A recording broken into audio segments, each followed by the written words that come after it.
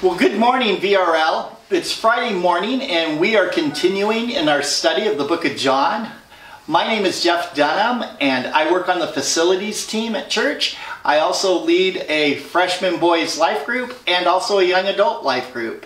And so uh, I'm really involved and am excited this morning to dive into God's Word with you and take a look at um, our passage out of John this morning.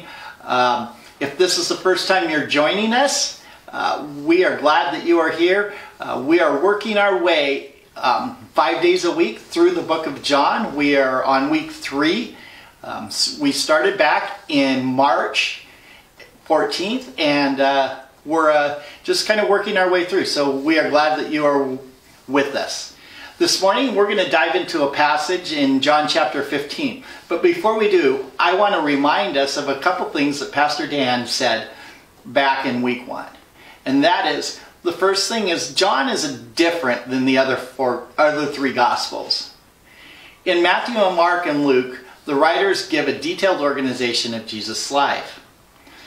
But John's focus is different. He presents who Jesus is from the beginning of the, the book of John, John has said, even in verse 1, chapter 1, verse 1, he says, In the beginning was the Word. He's trying to tell his audience who Jesus is. And throughout his book, he presents Jesus as, as different things. And um, today we're going to take a look at one of those things. Today we're going to look at how Jesus, pre, what Jesus says about himself and his relationship to his followers. So if you're a follower of Jesus, this is, this is for you. So let's open up to John chapter 15 and see what it says.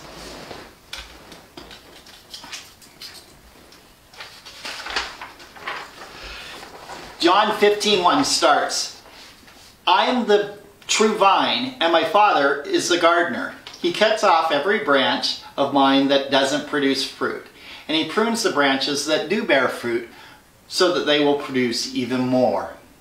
You have already been pruned and purified by the message I have given you. Remain in me, and I will remain in you. For a branch cannot produce fruit if it is severed from the vine, and you cannot be fruitful unless you remain in me. Yes, I am the vine, and you are the branches. Those who remain in me, and I in them, will produce much fruit. For apart from me, you can do nothing. Anyone who does not remain in me is thrown away like a useless branch and withers. Such branches are gathered into a pile to be burned. But if you remain in me, and my words remain in you, you may ask for anything you want, and it will be granted. When you produce much fruit, you are my true disciples. This brings great glory to the Father. Jesus starts his teaching here with his disciples by describing himself as the vine. I can imagine that Jesus and the disciples are, are walking through the countryside and they're walking through a vineyard and Jesus stops and he begins to teach them and, and he says, I am the vine and you are the branches. Giving them a real, um, just a real visualization of what, what he's talking about. He calls his followers, his disciples, um, branches. And um, he says that his true followers will produce fruit. If you're a follower of Jesus, you are called to produce fruit, just like the disciples were. We are called to produce the fruit. And Jesus is the vine. So what does it mean to produce fruit? I think there's two parts to this fruit to this fruit bearing. The first is is that we need to learn to love people like Jesus loved them. And as followers of Jesus, as we produce fruit when we love people.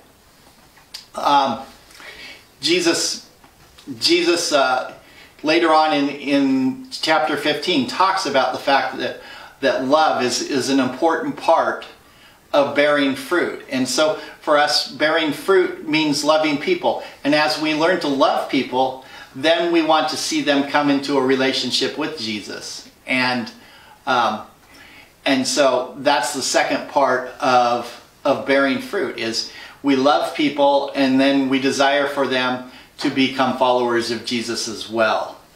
So, as followers of Jesus, we bear fruit when, through the Holy Spirit, we love people and we help them see their need for Jesus.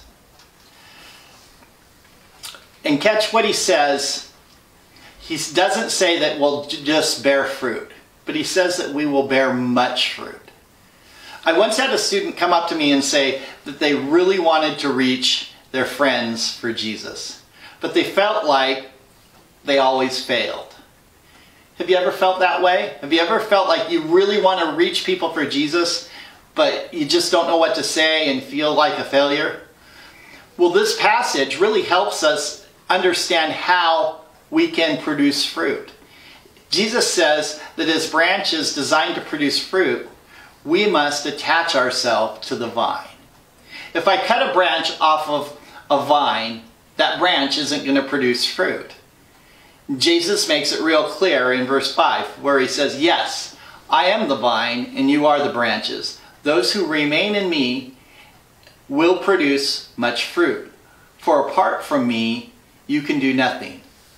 To produce, to produce fruit, we must remain attached to the vine, who is Jesus. We must be close to him. How do we do that? Well, we spend time with him. We listen to him we talk to him. When I began to dig deeper into the students, the students' life who wanted to reach their friends, I asked them how often they spent time with Jesus.